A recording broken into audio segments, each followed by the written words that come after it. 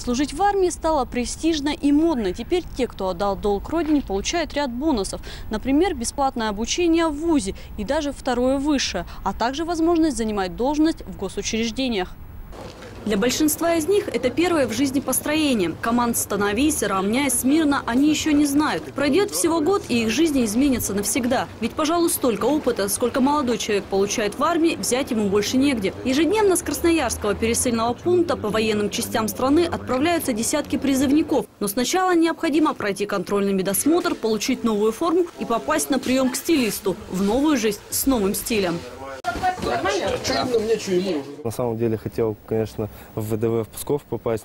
Виктор Тангих попал на пересыльный пункт из Шушинского. Носить голубой берет он мечтал с детства. Не к простой службе готовился годами. За плечами высшее образование и несколько прыжков с парашютом. И Шушинска от него, конечно, без ума. Отец Виктора – морпех. Дед служил на флоте. И, видимо, это судьба. Ее воле призывнику предстоит продолжить семейную традицию и вместо голубого берета надеть бескозырку. Пап, привет еще раз. Но я хотел тебе сказать то, что у меня с ВДВ не получилось, но я не расстраиваюсь. э, И меня Эта новость Виктора вовсе не расстроила. Теперь он уже строит планы о том, как пойдет в кругосветку. Для него армия – это не долг, а еще одна возможность в жизни. Воды я не боюсь, очень люблю плавать. Может, э, да хотя ничего не страшит такое. Я войду в любой коллектив. Молодые парни перестали бояться служить в армии. Именно это констатируют специалисты. По последним данным, 99% призывников в Красноярском крае пришли в военкомат по своему желанию. Тенденция призывников идти в армию значительно больше, чем это было несколько лет назад. Я сталкиваюсь с тем явлением, что есть молодые люди, которые берут академ отпуск с высших учебных заведений, чтобы служить в армии вместе со своим призывом.